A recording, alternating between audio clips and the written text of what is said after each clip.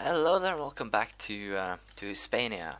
Uh, we'll see how this actually turns out. We started last time with uh, well some conquest of uh, the southern lands, and we'll probably continue along that line for to take uh, Mali and everything down here.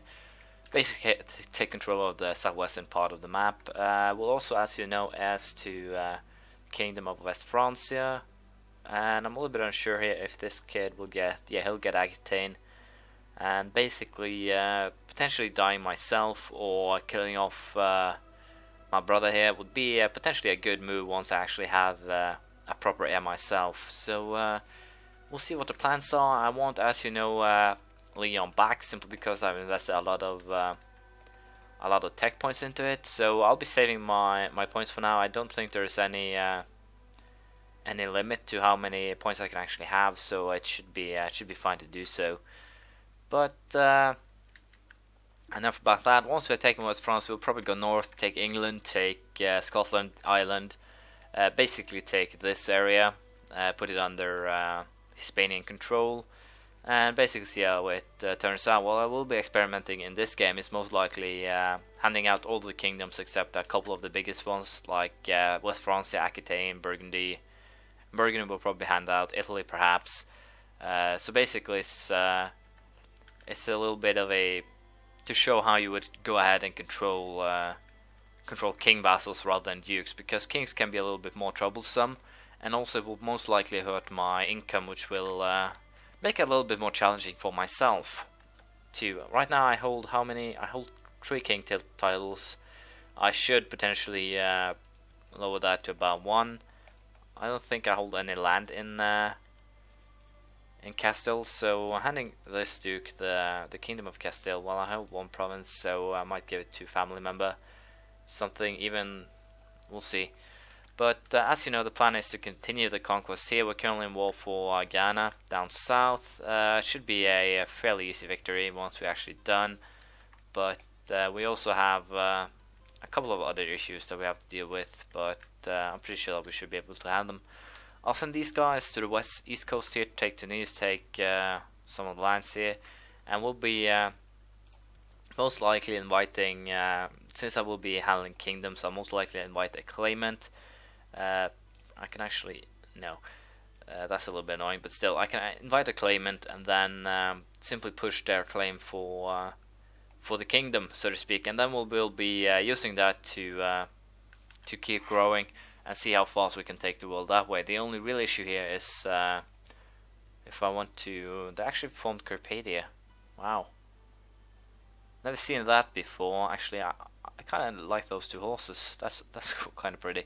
But still, uh, I got off out of track here. But still, as I said, I most likely to take every Catholic uh, kingdom and so forth and simply uh, put them under my with uh, by taking uh, taking control over over the crown, inviting an heir, then use him as uh, leverage, take the lands that way. But uh, we'll have to see how this turns out. So for now, I'll just finish the war with for uh, Ghana, and then we'll see how how it stands. A little bit of a good news here. We have uh, successfully killed off uh, my mother, the Queen of West Francia, and uh, apparently I have been found out. But still, I have inherited lands, Melun, Paris to be exact which uh, would potentially be a better capital than Lyon, since I will most likely be handing out the uh, the kingdoms, as you know. So uh, I will most likely want to kill off uh, my kid or my kid brother, since I'm the heir to everything he owns. So then I can uh, distribute the lands in uh, in much better fashion. So we'll go ahead and do that, and also. yeah, I think I'll actually move, take Paris as as the capital, build another uh, city here, and then uh, basically, uh, well, use it for my own purposes, but uh, it should help to simply make uh, Paris the capital. We'll be going for military organization here as well, so I'll be a little bit behind in tech for a little while, but it shouldn't be an issue. Also, it seems these guys are going to war against, well, doesn't matter. You will all Fortunately, stand down. Two and a half thousand uh, retinue troops. Good. We'll add them to uh, to our army, and uh, we'll be using them to uh, to attack uh, I rule in my realm. I think we'll go for that one. Or we could always hand them some gold too. That works. But uh, yeah, the goal here will be to now go after Burgundy, go after Italy, because I have a guy who can actually uh, can actually take those lands for me. And with the end of Carolingian domination in West France, the realm is now more commonly referred to as the Kingdom of France. So uh, there we go, West France is now France, and uh, well, can't complain about that score. So uh, what we will be doing now is uh, take everything from uh, my kid brother, then we'll hand out the kingdoms of Leon, uh, most likely Castile, and not probably not Navarra, Aragon, Portugal, Galicia, basically all the small kingdoms. I'll probably keep Mauritania, or I could potentially hand that one out as well. Shouldn't really be an issue. Aquitaine and France I think I'll keep. I'll be moving my base of power up here. It's a little bit uh, weird since I am uh, I am Hispanian, but I will probably move the capital closer to uh, Hungary, Serbia, Croatia uh, later on because it's more like uh, if I want to actually have it in the center of the map, I should have it in Bulgaria or Greece, uh, probably up in Wallachia. In terms of spawning troops, in terms of having control, but with the with the uh, retinues, once they're big enough, it won't matter. So I'll probably move uh, move back to Leon later. But for now, we'll be plotting to uh, kill my brother, and uh, then I'm pretty sure that we'll uh, go after Burgundy and Italy and try to incorporate uh, them as well. Apparently, my kid brother is in a bad spot, could potentially die already, and he did. Good thing, that means I have all the lands, all the crowns back under my control. And with this I should potentially start handing out some of these uh, these lands to people who uh, well are family. So uh, I'm pretty sure we'll actually uh, actually start doing that straight away. This guy is my kin. He is Castilian I, I believe he's stuck in Castile. Cuenca yeah he's under the Duke of uh, Castile. I'll make you the Duke of Toledo if I can nope Aquitaine Barcelona and Lyon. so yeah, I could potentially have moved the capital back to uh, what's the traditional capital of? Yeah, well, we'll find it later. But uh, more retinue troops, good. Can add them to uh, to the fold, so to speak. But as I said, we'll be going after Burgundy now, and I should potentially hand out these uh, these lands before I do so. I will keep Leon and Salamanca though, since those are actually uh, actually lands that belong in uh,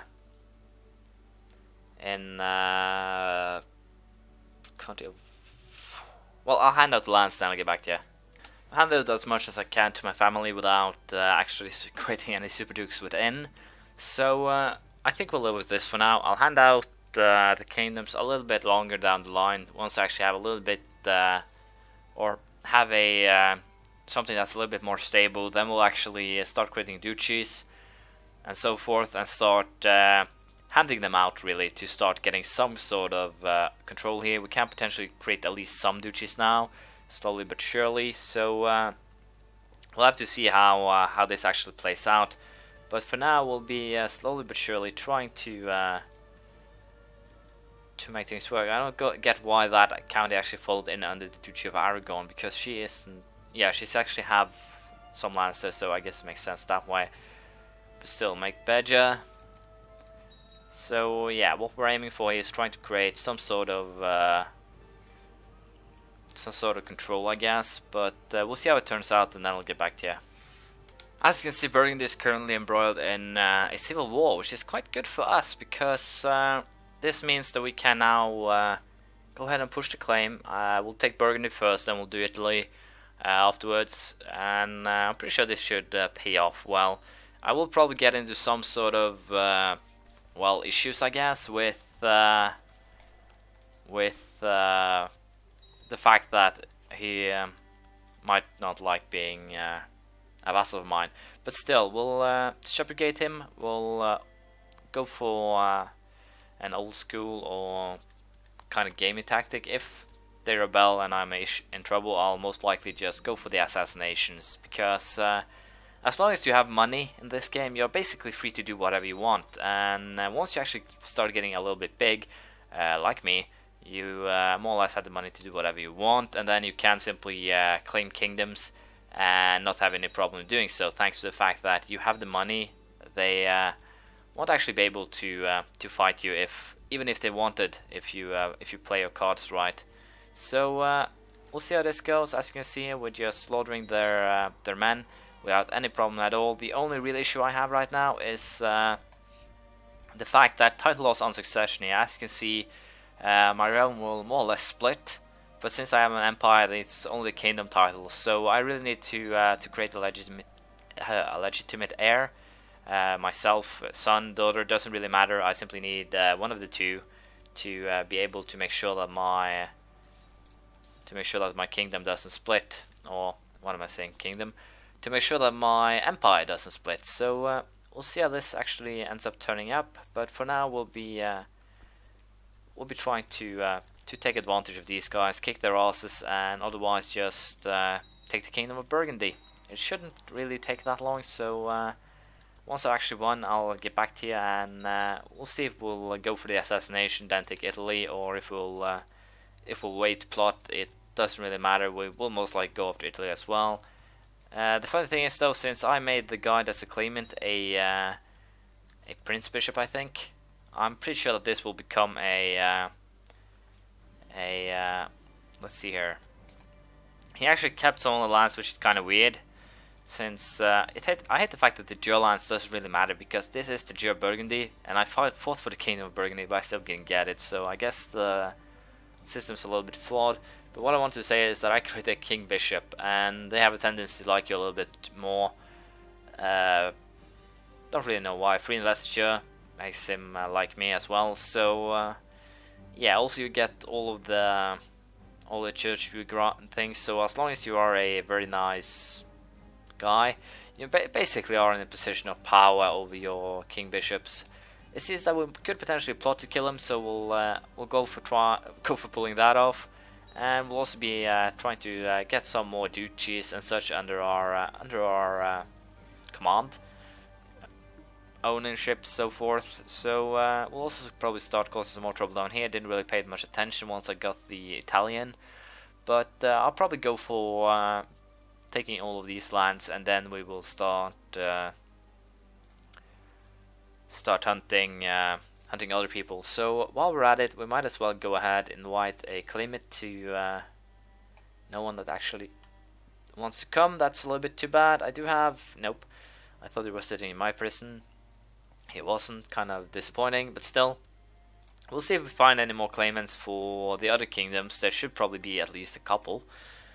And if there aren't, then we, well, it seems like they aren't actually willing to get here. So let's see here. Will not accept an invitation. Why? No reason to move. How about you? No reason to move. So basically, they will not come because they have no reason to move. But uh, still, I can always push for Italy. Then we'll probably, uh, if we board them, I think they'll actually join me then. But uh, we'll have to wait and see. We could always take the kingdom of uh, Frisia while we're at it. And we actually have someone who is uh, willing to uh, to take on the task. So we'll invite him, give him uh, a county, maybe make... Uh, no, Frisia is so small I don't actually have to make a uh, prestige. We'll make him, give him Breda, I think. And then we'll move our move our troops up north and then we'll take Frisia as well. Well, I have no idea what happened here, but apparently I got Italy. So I need to do a quick little check here to see what actually happened. I'm pretty sure it could have potentially been a uh, a inheritance, but since this guy is, or he pushed the claim himself, I don't actually know. Let's see here. Yeah, it seems he pushed the claim himself for Italy, and that means that we now have the grand theocracy of uh, uh, Italy, Burgundy. Well, can't complain, they took the lands for me. Frisia is under our control. Unfortunately, Denmark took uh, two provinces in Holland before I actually, uh, actually got as far as to take them. So uh, we're currently fighting the Danes for uh, Holland, of all things. But uh, should be an easy victory. We also got some more lands up north. Uh, could also be useful. We'll most likely go after England soon enough as well. But uh, I think this will uh, more or less mark the end of uh, of this episode. I also have some uh, pretty good news. I have an heir. My uh, wife had twins, it seems, so uh, that puts me in a position where I have one boy and one and one girl, and I can use them to, well, more or less get get things going. Because now I don't have to fear anything that my kingdom will split. The only thing is two kingdoms that will be inherited. The ones with elective will be giving to uh, two members of my family. So uh, no, I'm not losing them. That's uh, that's not the only real issue here. Is the vassal inheritance. For well, some people, King Georg of Frisia will be inherited by my nephew of Luxembourg under the Lotharingians. So uh, we'll be taking uh, Lotharingia pretty soon, I think. But other than that, it shouldn't really be uh, be an issue here. I think I'll actually go ahead and hand everything over to her. I don't have any family members to hand land over to still, so uh, I'll be handing everything over to her. She is the um, Duchess of uh, of Holland, so it's only fair. But uh, as you can see, we made pretty good progress, and hopefully we'll continue along uh, the same lines. So uh, next time we'll probably go after England, Bavaria, and uh, West Francia. We'll see how that turns out, but I think we'll end up with a success. We'll simply have to see. So thank you for watching. Please leave a comment, praise, criticism, anything you feel like, and I'll see you around next time. Bye.